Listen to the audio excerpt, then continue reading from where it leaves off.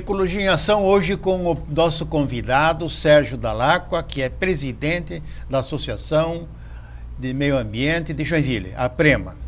Doutor Sérgio, é, a questão das eleições em Joinville e as propostas ambientais dos candidatos. No conceito e no entender da Prema, o que é que a entidade ecológica está achando desses programas dos prefeitos? Bem, Gert, o nosso pensamento é de que a questão do meio ambiente é meio que uma batata quente. Está parecendo que os candidatos não estão muito à vontade ou não estão querendo assumir muitos compromissos. Tem várias coisas acontecendo. Tem a questão do Código Florestal, que ainda não foi aprovado, ainda tem esse debate. A Dilma vetou, não vetou, segura, não segura, ainda estão discutindo. E o, o, vamos chamar assim, o feijão com arroz, aqui em Joinville, nós temos mangues sendo invadidos, nós temos morros. Você lembra que uns anos atrás havia uma preocupação com a questão do morro, por exemplo, do Boa Vista, do Iririu, que estavam sendo usados, as pessoas estavam subindo cada vez mais nos morros. Isso aí saiu da discussão e a invasão continua acontecendo. Tem gente construindo lá em cima dos morros. Depois, quando vier um, uma chuva grande, desmoronar um monte de coisa, tiver desgraça, como aconteceu lá na Serra Fluminense, aí vão dizer que a culpa é da natureza, que a culpa é de Deus, quando na verdade está faltando, as nossas autoridades estão omissas. Então, a tua pergunta é sobre a questão do que é que os candidatos estão dizendo das campanhas. Tá? Nas campanhas. Nós né? estamos sentindo que nas campanhas não estão tocando a fundo, não tem ninguém assumindo um compromisso formal, firme com o meio ambiente. Eu dá duas impressões.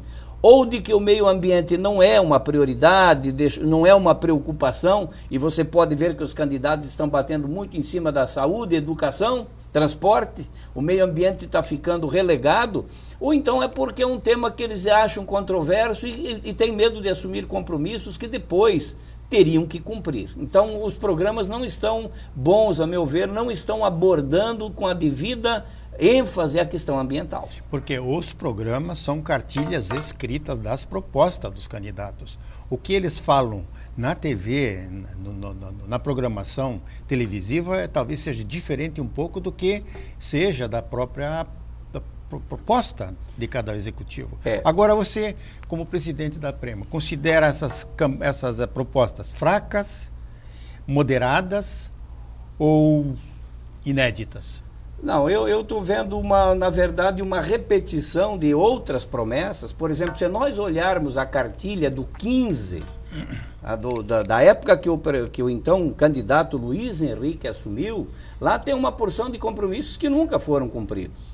Então, o fato de estar tá escrito não garante nada. Eu acho que o que garante mais é a questão da, não vou chamar da hombridade, mas da seriedade da importância que o candidato dá a cumprir aquilo que ele promete. Tá? Uhum. Tem coisas daquela cartilha que não foram cumpridas, como outros candidatos depois, não foi uma, uma um, digamos, um privilégio, uma característica do Luiz Henrique. Tá? Outros candidatos depois assumiram por escrito, fizeram cartilhas e também não foram cumpridos.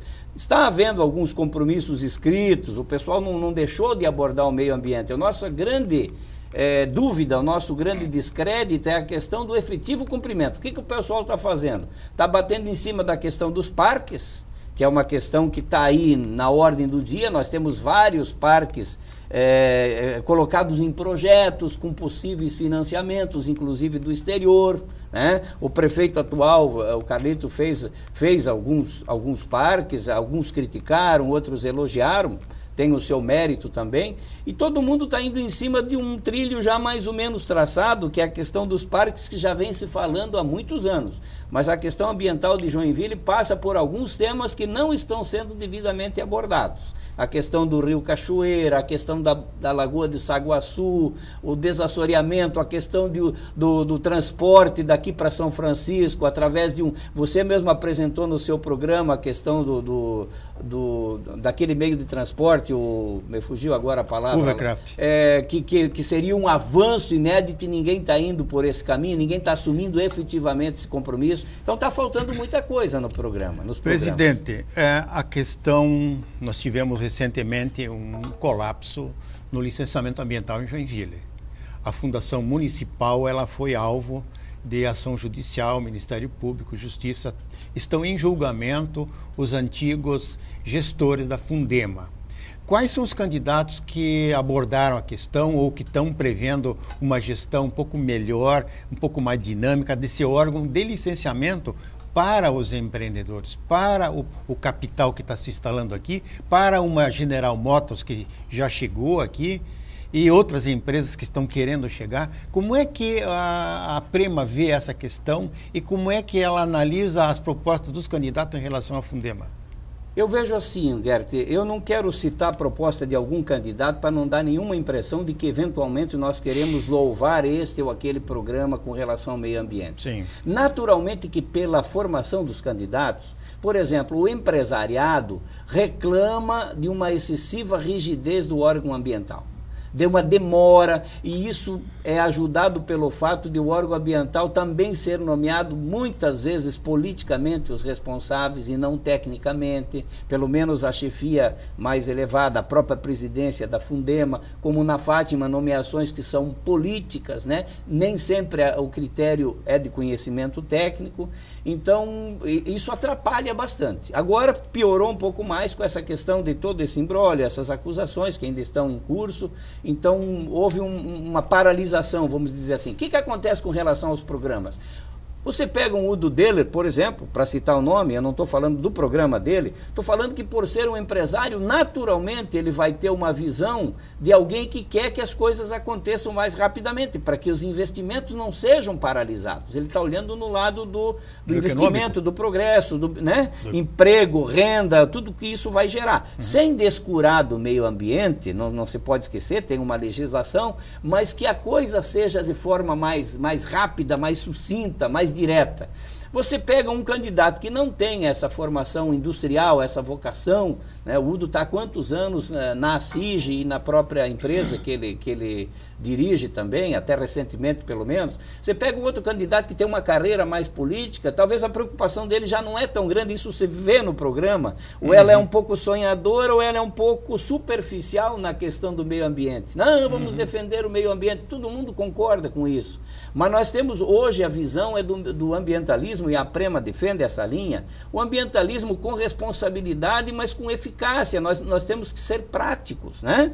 Se nós temos que examinar, fazer condicionantes para as empresas, mas as empresas precisam gerar emprego e renda. Nós estamos vendo uma crise internacional, estamos vendo o PIB no Brasil caindo, o governo está estimulando o consumo através da simples e pura redução do IPI, e, no entanto, eu conheço casos de empresas que estão há 3, 4 anos tentando licenciar um empreendimento. Precisa haver mais eficácia, mais mais colaboração do órgão Bom público. Bom senso também, né? Bom senso. O órgão público é um órgão que tem que estar a serviço da sociedade. Exatamente. E o empresariado, a empresa que produz emprego e respeita o meio ambiente, ela está a serviço da sociedade também. Então, sem, digamos assim, sem descurado do, do cuidado com o meio ambiente, mas nós temos que ser, ser efetivamente, o, o gestor público e o funcionário público, ele tem que ser auxiliar da sociedade, ele tem que estar a favor da sociedade. A sociedade quer que o meio ambiente ambiente seja preservado, mas quer que o emprego seja gerado, que a indústria comece a funcionar. E essa preocupação, em geral, não existe na maior parte das vezes. É, o programa tem também questionado muitas vezes a questão da, da, da GM, da General Motors, que está se instalando aqui em Joinville com uma, um grande investimento. E todos os empresários, todas as empresas que estão fazendo alguma coisa em Santa Catarina, construindo, têm os seus termos de ajustamento de conduta. A Prema tem conhecimento do termo de ajustamento de conduta da GM aqui em Joinville? Não, não, nós não temos. Eu não tenho conhecimento desse termo, se ele houve, em que termos ele foi feito. Nós sabemos que todo empreendimento, Gert, ele traz impactos. Já disse um, um, um, poeta do meio ambiente que o meio ambiente ideal seria lá no meio da Amazônia, onde não chegou ainda a mão humana, a presença humana. Quando chega o homem, ele naturalmente vai criar impactos. Né? Uhum. Se ele se estabelece com uma casinha de sapé, já tem um impacto. Ele vai fazer um roçado, ele vai fazer uma clareira e vai cortar árvores. Você imagina quando se instala uma grande indústria, né? Quantos, quanto ela tem que remover de morros, de terras, são às vezes impactos inevitáveis. Qual é o papel da legislação e aí do funcionário público, do órgão público, minimizar esses impactos ao máximo e, se for impossível evitá-los, como em geral é evitar é impossível, pedir compensações. E o termo de ajustamento de conduta é uma dessas formas de pedir compensações. Discutíveis, alguém vai dizer, não, o ideal seria que não viesse para cá. Todo mundo quer um, um agente que produza emprego e produza renda. Isso melhora, em alguns aspectos, a qualidade de vida. Se criam mais postos de saúde, se criam mais hospitais, a empresa grande vem, mas exige condições, acaba forçando o gestor público, o poder público, a investir mais em infraestrutura, só que traz um impacto. E o ajustamento de conduta, quando bem conduzido, quando transparente, porque ele tem que dizer o seguinte: eu deixo você me impactar aqui, mas eu exijo que você me compense aqui. E não tem por que ser escondido. Eu desconheço uh, os termos, se é que tem um ajustamento de conduta com a GM, mas seria muito interessante que a sociedade inteira soubesse. Vai dar discussão? Vai, porque alguns é, radicais vão dizer que não, não, não devia ter ajustamento nenhum, simplesmente não deixa a empresa se estabelecer ali. Né? Os progressistas, os que são mais para o lado do investimento, vão dizer não, que ajustamento de conduta, essa, temos que encontrar um meio termo para isso Essa preocupação do programa na questão dos termos de ajustamento de conduta, para o empreendedor brasileiro e catarinense, para projetos de grande porte, são pesadíssimos. E a gente tem conhecimento de alguns casos onde o investimento é de 150 milhões, a área eh, construída é de quase 100 mil metros quadrados, um empreendimento de, de impacto relativamente grande, onde o termo de ajustamento de conduta exigiu um, a construção de um viveiro florestal para a produção de 5 mil mudas durante cinco anos, mensalmente 5 mil mudas, são 120 mil mudas em, nessa, nesse período, obrigando um investimento, pagamento de mão de obra e, uma despesa gigantesca. Além disso, nesse termo de ajustamento, essa empresa teve que dar um carro para a fundação que licenciou para que tenha fiscalização com mais facilidade e mobilidade. Além disso, ainda deu mais mudas para o município, mais de duas mil mudas nativas de grande porte que custaram uma fortuna. Portanto, é um TAC pesadíssimo para um empreendimento de 150 milhões. Não é muito, mas aí a gente pergunta, se um investimento de 150 milhões teve toda essa carga gerada pelo TAC, o que, que a gente pode imaginar para o investimento, no caso de uma GM, onde o investimento passa de 600, 700 ou 1, 1 bilhão de reais? É, teoricamente, a gente pode imaginar que haja uma proporcionalidade, né? Quanto maior o investimento, maior o impacto. Mas a gente precisa considerar o seguinte: às vezes você tem um investimento muito alto e ele está sendo feito numa área já degradada, por exemplo, numa área que já estava, uhum. não tem árvore, não tem nada, não uhum. tem. É, e às vezes o investimento é menor e a área é uma área mais delicada, é um ecossistema, é uma várzea. Uhum. Então essa proporção não dá para fazer, mas dá para se imaginar que seja uma proporção. Doutor Sérgio, nós vamos continuar no segundo bloco, pedindo aos telespectadores que aguardem que já retornaremos com Ecologia em Ação.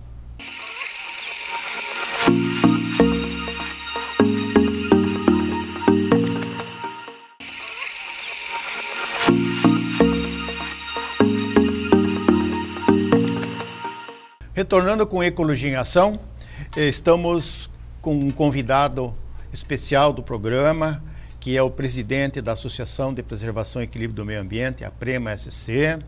E o Sérgio é um advogado que milita na questão, inclusive, do licenciamento ambiental jurídico, ele faz a parte jurídica dos licenciamentos. Ele também atua para diversos clientes na questão dos ajustamentos de conduta. Portanto, é um profissional habilitado a dar seu parecer como presidente da Prema, que ele também é. Doutor Sérgio, eh, retornando ao assunto que nós estávamos falando no bloco anterior, está eh, é, certa a colocação. Eu acredito que não dá para fazer assim uma comparação por uma regra de uma, três simples. Uma regra de três exemplo, simples, exatamente. exatamente. Mas eu acredito e eu acredito também que o presidente da Prima vai concordar com isso, é que a sociedade eh, talvez não tenha sido informada corretamente do que será essa compensação. Isso não foi divulgado num painel. Isso Perfeito. não foi divulgado no plaquetário da empresa. Não existe um plaquetário onde você vê quais são os responsáveis técnicos, quais são os ajustamentos de conduta, onde é que estão esses ajustamentos, de que forma ele vai ser feito, como é que o contribuinte da cidade vai ter minimizado o problema do excesso de carros na estrada né, o, o, excesso de investimento que o município vai ter para fazer vias paralelas, para dar continuidade ao desafogo do trânsito da BR-101. É. A quantidade de, de, de, escolas que nós vamos ter que colocar aqui, o contribuinte tem que pôr, tirando dinheiro novamente do hospital para atender o aumento da mobilidade de um empreendimento desse porte. Estamos perto de receber em Araquari uma confirmação da BMW e um município pequeno, será que esse município pequeno tem qualificação para receber e fazer um licenciamento ambiental? Certamente que a Fátima deve estar fazendo esse licenciamento. Mas o impacto que tudo isso gera é muito grande. Como é que os diretores e os associados da Prema analisam essa questão da chegada e mais chegada e mais chegada de indústrias aqui? É, isso, a, a nossa qualidade de vida vai su, sustentar isso? Ela vai garantir a qualidade de vida para todos, a chegada desse, desse patrimônio, com tanta gente aqui? É, olha, Gert, é difícil um governante. Eu, eu me lembro de um caso, eu vou, eu vou responder a tua questão por via transversa. Há, há uns dois ou três anos atrás, foi notícia nacional um prefeito de uma cidade do interior de São Paulo uma cidade bucólica, muito verde, muita água. Ele é um juiz federal aposentado e era o prefeito. Sim. Ele recusou a chegada de uma indústria química na sua cidade. E muita gente queria o pescoço dele, queria a cabeça dele. Esse cara é louco. O progresso está vindo para nossa cidade e ele não quer. E aí vem uma pergunta: o que, que é o progresso? O cara tem uma cidade pequena, conservadora, gostosa de se viver, onde as pessoas andam a pé, onde tem o coreto da praça, onde as bandas vão tocar no final de semana no final da tarde. De repente vem uma indústria química que obrigatoriamente vai piorar a água dos rios que hoje correm limpas, os, vai ter muito mais carro na cidade, vai, vai trazer marginalidade e algumas pessoas entendem que isso seja progresso.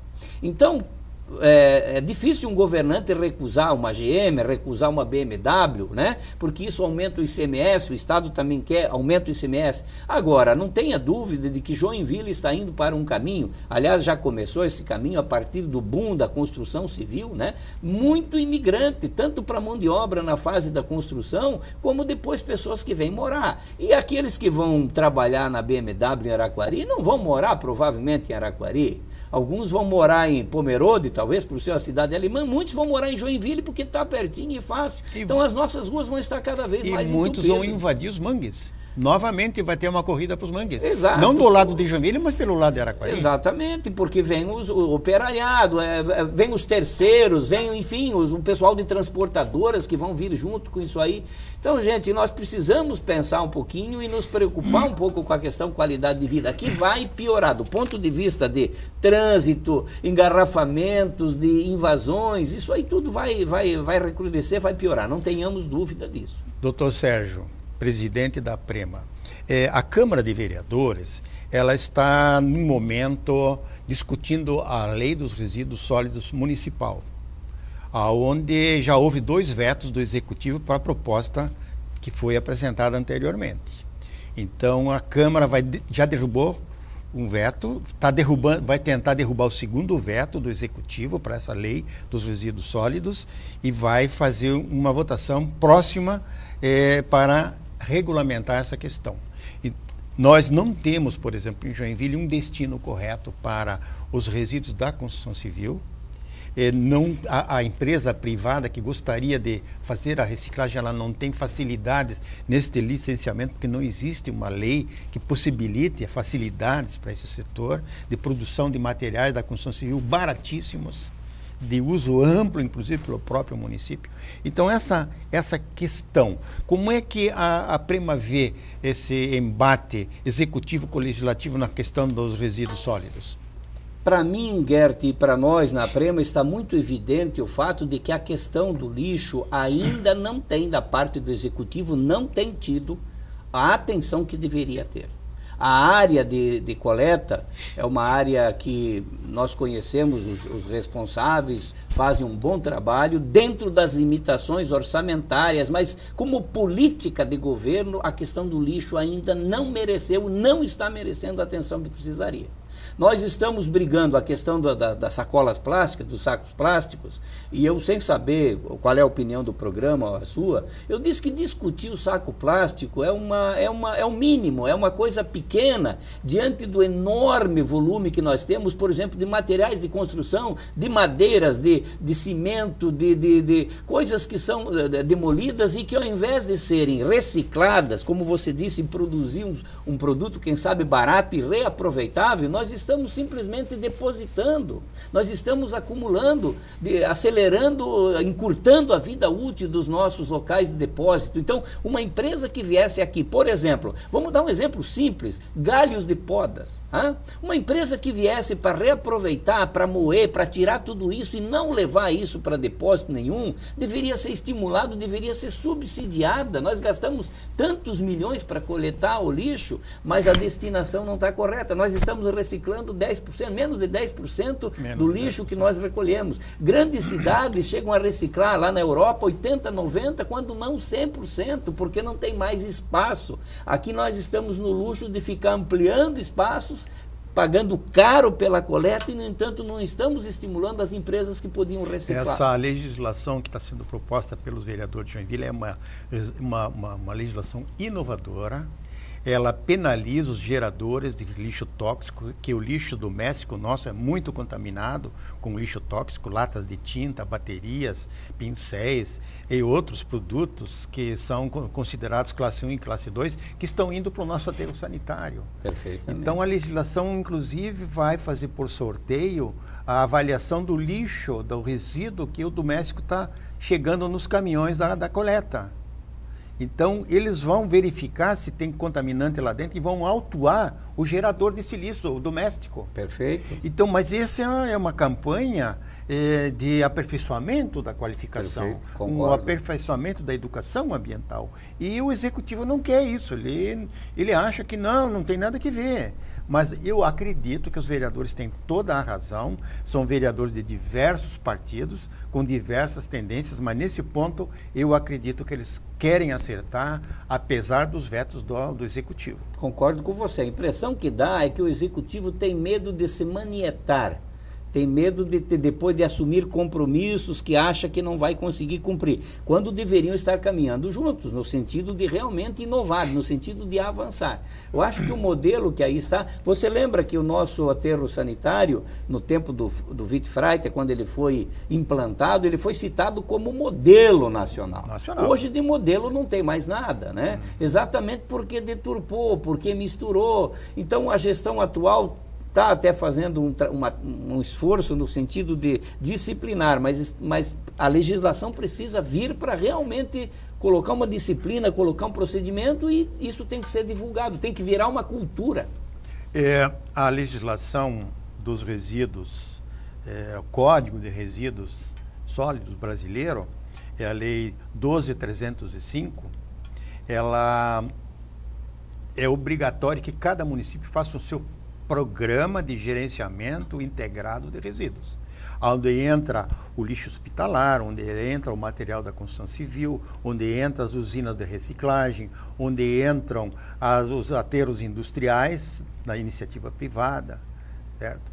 E entram outros resíduos como a, a congregação de esforços de alguns municípios junto com o município polo. Perfeitamente. E a, o executivo, o município de Joinville, apesar de, de, se falar que apresentou um bom programa, esse programa ainda não foi de conhecimento público. Não se deu a divulgação desse programa de gestão de resíduos no município de Joinville. Era, era importante, inclusive até que os candidatos à prefeitura de Joinville avaliassem isso, avaliassem um programa e garantissem a efetiva concretização e a prática das normas estabelecidas pela, pela, pela lei federal. Né? É, Gert, menos de, eu não me lembro o percentual, mas é algo em torno de 10% dos municípios apresentaram, elaboraram até agora o programa de gestão de resíduos sólidos que essa lei federal obrigaria a todos fazerem, até eu acho que é o final desse ano. 10% ou 12% fizeram, os outros não fizeram. Então são milhares de municípios que não fizeram programa nenhum. Ah, ah, isso é uma, é uma doença nacional. O, o, o, executivo acha que ele pode ser impune, ele não precisa aplicar a legislação. E o Ministério Público se sente fragilizado perante essa arrogância do execu dos executivos municipais e pouco pode fazer. Mas isso é um tema para o um nosso próximo programa. Infelizmente, o nosso tempo acabou. Vamos agradecendo a presença do presidente da Prêmio no nosso programa e pedindo aos nossos telespectadores que o próximo programa Ecologia em Ação trará novas novidades e novos debates sobre ecologia e eleições em Joinville. Até lá.